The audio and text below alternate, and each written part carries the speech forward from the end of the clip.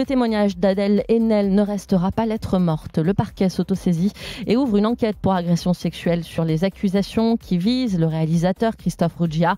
La comédienne 30 ans s'est longuement confiée à Mediapart, mais elle jugeait inutile de faire appel à la justice, Maxime Brandstetter.